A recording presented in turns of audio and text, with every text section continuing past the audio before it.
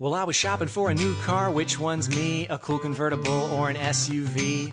Too bad I didn't know my credit was whack, cause now I'm driving off the lot in a used subcompact F R E E E E E E E E E E. That spells E.